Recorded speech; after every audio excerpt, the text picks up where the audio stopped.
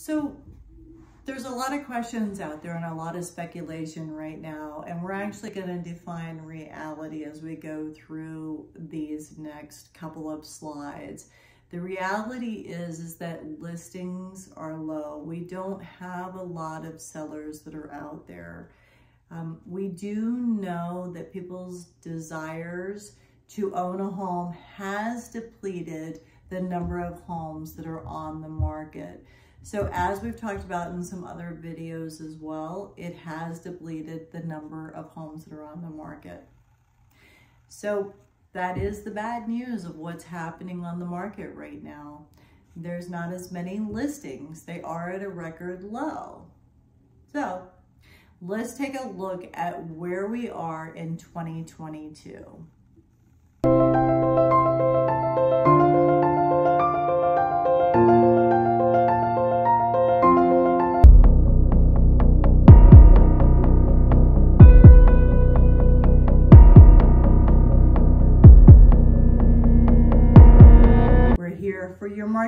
Update. So let's start running through the zip codes. I am here to share with you what's happening in the real estate market.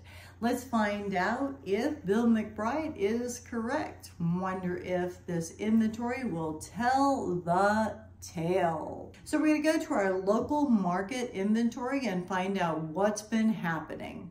Let's go to zip code 34949. We have active 41. We have new listings of four. Pending of five. We have active under contract of eight and we have closed of five. That's the north portion of the island. You'll actually notice that northern portion of the island and it's actually considered Fort Pierce. The town of Fort Pierce is the main land of the island, but you'll actually notice that Hutchinson Island in the north portion is considered Fort Pierce as well. We'll go into that in some other videos as well. Let's go into zip code 34957. We have active of 60. We have new listings of 12, pending of 14. Active under contract, we have six, and we have closed 11. If you notice, this is the southern portion of Hutchinson Island, and then we go on to the mainland as well in Jensen Beach. You know, if you haven't heard of Jammin' Jensen lately, that's going to be in another video as well, and you really want to look into that video in Jensen Beach. 34952, we have active of 66. New listings, we have 19. Then we go into the pending of 12. We have active under contract of 20. We have an expired of three, and we have closed of 10. Now that's going to be on the mainland. That's going to take you over near the Savannas. Uh, that's going to be a little bit east of US 1, but a little bit west of US 1 as well. And we can talk about Savannas as well. There's land leases over there you want to be conscious of. Let's talk about zip code 34982, active of 32. Then we're going to have new listings of 10, pending of 1. Active under contract, we have 4, expired 0. And then we have closed 6. So we want to take a look at our last video as well and make a comparison of what is happening right now. That really does tell us what's happening in the market. And that's why we do these market updates to make sure that we know what's happening in the market. Let's go down into Stuart. 34994, that's going to take you across the bridge, north and south of the bridge. Uh, that's active listings 31. There's going to be new listings nine, pending four. Active under contract is four, and then closed four. And if you take a look at that map and you notice where that area is there in Stuart, now that does incorporate, incorporate some of that area there at Stuart, the northern section and a little bit of that southern section of Stuart. Let's go over to 34996 next. There's going to be active 22, new listing 7, pending 3, and then we have active under contract 3, closed 8. If you notice, there's a portion of Sewell's Point there, the really southern tip of Hutchinson Island, uh, and then you'll notice uh, that whole area there uh, of Stuart, that uh, let's see, eastern portion of Stuart as well as that you'll see. So what do we want to expect in the 22 housing market? What to expect in the 2022 housing market? And is buyer demand slowing? And the other question is, are you thinking about buying or selling? You want to contact me to determine if now is the time to go ahead and sell. You know, there's a lot of factors and that's why we do this market update as well as the information I'm sharing with you because the information I'm getting ready to share with you, this is across the United States. So there's factors across the United States that affect us as well. So the bad news across the entire United States is that listings are at record lows. As we take a look at what's happening across the country, if you take a look all the way across the country, you're gonna notice that Florida is actually down by 48%. You know, the average, as you notice on this, this slide here, is that the average across the United States is 26.8%. But the truth is, we're not going to reach our market potential because we can't sell what we don't have. If we had more inventory, we probably would see more houses sold than we probably have ever seen, but we don't have as many houses to sell. So we just want to let you know probably won't happen. Now, showings traditionally lag during the holiday season, but the data we're seeing tells us that buyer demand remains strong. The fact that every region showed a year-over-year -year increase indicates that buyers are undeterred and that they're still out there buying, as you can see. And then the other thing that we've noticed is that showings crush the pre-pandemic numbers. I mean, as you can notice from this slide, we're up 175.7 in 2021, but you noticed in 2020, during some of the lockdown, we were down to 156.3. Then if you notice, it actually went down a little bit lower. So we actually have gone up quite a bit from what we were before. That inventory shortage is definitely making a difference in what we're seeing as far as the showings. We just don't have what we need, so we just can't sell what we don't have. If we don't have the inventory, it's going to make a difference in what we can sell in the real estate market and in the inventory this year. So the biggest question a lot of people have is, will this wave affect the real estate business. It could affect people's delay, but we don't really think that that's going to be a long term. It could be in the next couple of weeks. It could be in January. Not saying that it will, but it could affect what's happening long term. Now we're gonna go into later in this video what has happened with forbearance and what's happened with foreclosure. So hang in there a little bit with me because we're gonna go into that as well because a lot of people talked about a bubble and they've been waiting for what's going to happen. So bear with me a little bit because this video builds upon what's actually happening as far as that goes as well. That lack of inventory means that buyers are really out there still looking for what's available. So the showings are still really strong, as you can see from those previous uh, slides that we showed. ShowingTime does measure the activity. Let's talk about these showings. Now these showings cross pre-pandemic numbers and these are actually the last few Novembers. So let's talk about the last few Novembers from this slide. This would actually be the activity uh, 2017, 18, 19, 20, and 21. These are all of the Novembers and traditionally the showings actually lag during this season. But if you take a look, you'll actually notice that the showings have increased the showings have gone up to 175.7. So we do know that the buyers are out there in force. They are motivated by a lot of different things right now. They could be out there in anticipation of the rising interest rates. It could be a scenario where they're thinking something might have changed in work or in life or something that has changed, something different, maybe in their life. But we do know that the buyers are out there in force because we are looking at this slide that tells us that they are out there in force. The numbers are higher than they were pre-pandemic. So we know that the buyers are out there in force right now. You can definitely tell by the numbers that are in gray that those numbers were much lower than they are right now. You can tell at 98.2 in 2018 and then 107.2 in 2019. And now we're up to 175.7 in 2021. So we do know that the market's moving, but we do need more listings on the market. A lot of people already know that.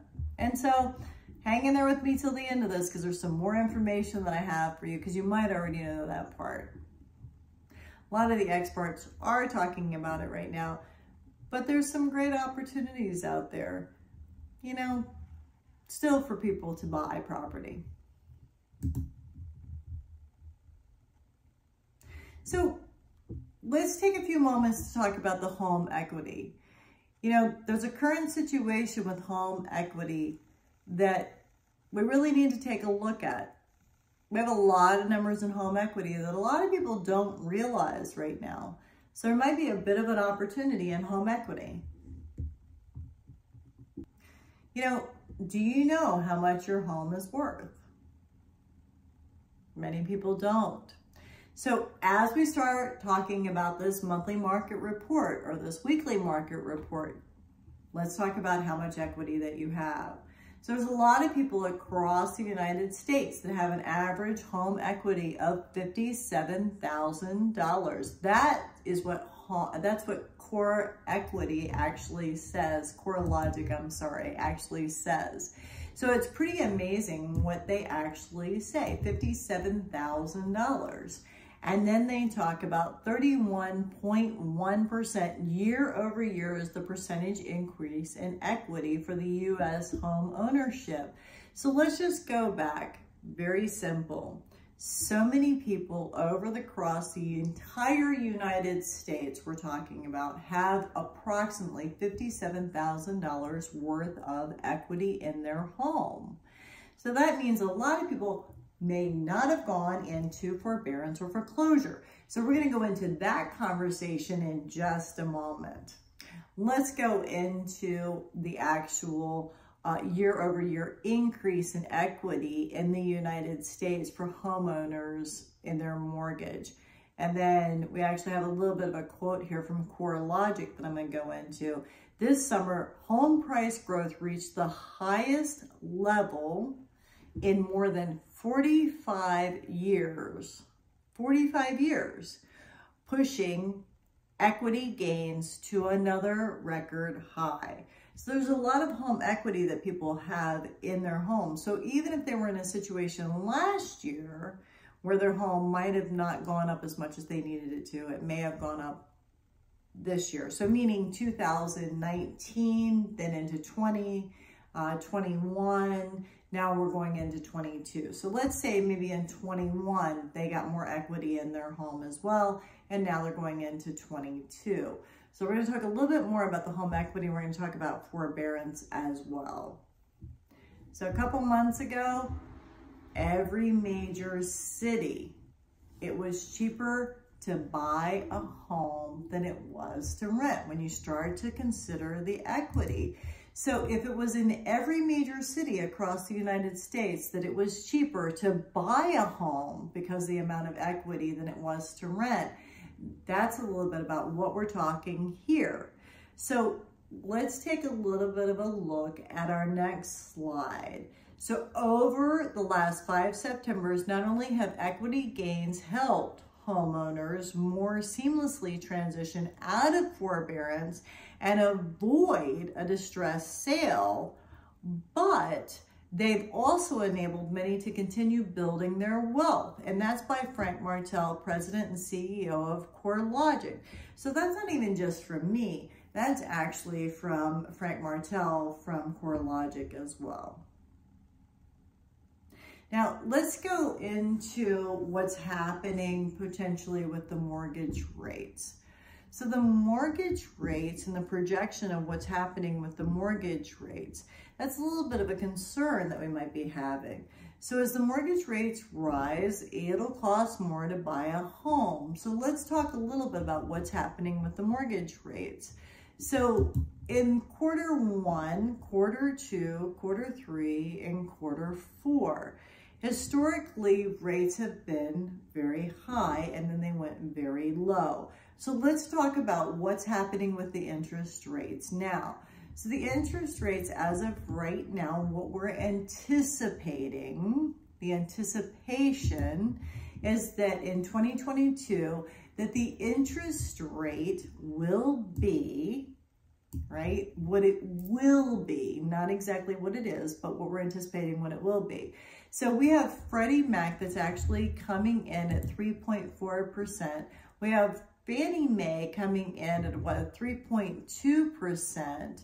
Um, we have NAR, the National Association of Realtors, coming in at 3.3%.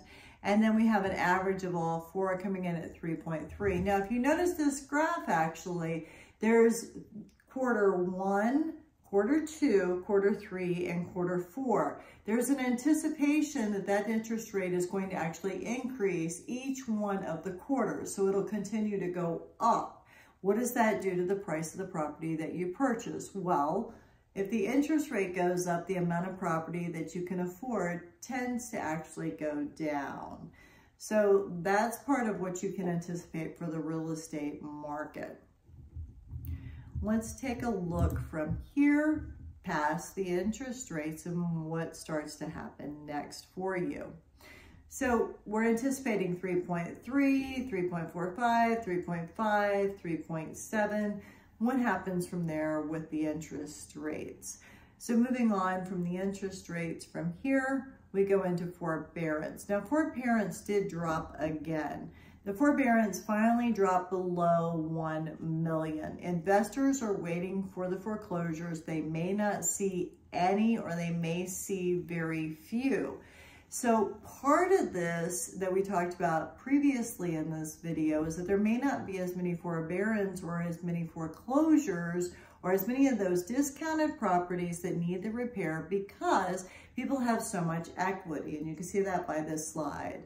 So as this says, not just me, but McClare Bolton Smith from CoreLogic says, we may see a little bit of an uptick in foreclosure rates in 2022. Just an uptick, though, from an extraordinary low. We're not expecting to see a big increase. So we're maybe a little uptick, just a short uptick, but nothing major. I've had quite a few investors say to me, we're going to wait for the market. We're going to wait for all those foreclosures. Well, each one of these videos, I keep seeing the same thing, that we may not see that large number like we did back, way back when all those short sales came onto the market. So they also say we're not expecting to see a big increase. We expect delinquency rates overall on home mortgages to actually continue to remain quite, quite low. And that's actually from McClare Bolton Smith, the senior leader of research CoreLogic. So it actually represents like 1.6 of the mortgage loans that are out there. So we're just not anticipating as many foreclosures as might have originally been anticipated, although through these videos, we just haven't anticipated an awful lot of them coming out of forbearance and going into foreclosure. So not anticipating a lot of them, and just as they're actually verifying in this slide as well. Now, it doesn't mean that it's not a good time to buy. It still is a great time to buy. It just means that some of those forbearances and some of those foreclosures may not be coming on the market. And let's talk about some of the appreciation that we're still anticipating. Now on this slide that I'm sharing with you now, we're still averaging to about a 5.2 appreciation. That's still up by a 0.1% appreciation. And I shared that with someone that I was speaking to today. So we're still up 0.1% in about a month's time frame. And this actually from Fannie Mae, they're saying 7.4%. We have, uh, let's see, CoreLogic saying 6%. We have um, MBA uh, at 5.1%. Oh my goodness, who do we have as well? NAR is even at 2.8%, but we have an average of all of these at 5.2%. Now in the last video, if you go through the playlist here as well, you'll notice that it was at a 5.1%. Now we're anticipating a 5.2%, so that means we're up 0.1%. We're still anticipating the properties are going to go up. We're not anticipating, I heard someone to say today that they thought from the news that prices were going to go down. So we always talk about what's going to happen with prices and what's going to happen for the forecast of 2022.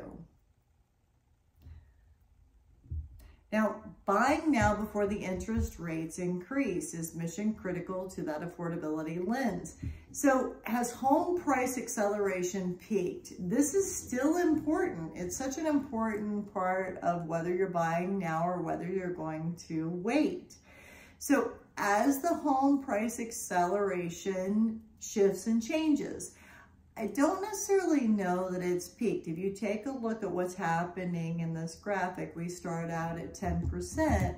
We're starting at an historical high appreciation.